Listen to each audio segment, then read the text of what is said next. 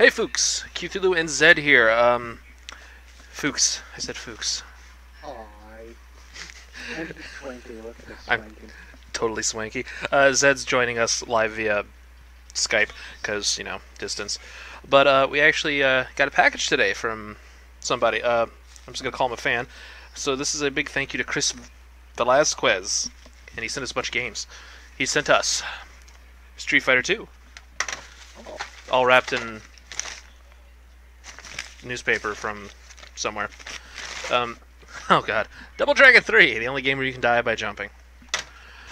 Uh, I'll, I'll I'll explain it to you later, Zed. It's it, it will make sense later. Cabal.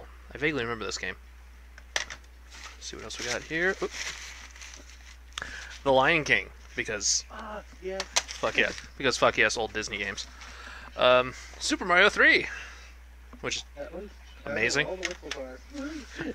at this point, if you don't know where the whistles are and you're a gamer, there's something wrong with you. That should be like a rite of passage thing. And a really, really faded copy of Final Fight. He said this one might not work because the uh, case is a little wonky. I might have to. But that was a screw that just fell out.